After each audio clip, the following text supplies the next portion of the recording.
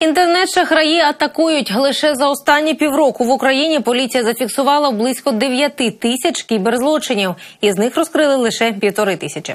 Кіберзлочинцями стають переважно колишні в'язні. Повідомили в поліції для своїх махінацій. Вони використовують телефони із різними сім-картами.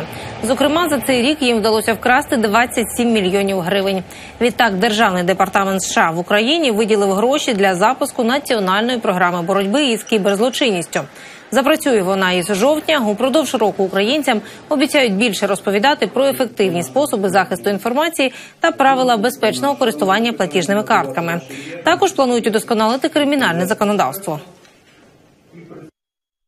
В інших країнах ви можете за картковий злочин, наприклад, е, в Іспанії сісти до 15 років.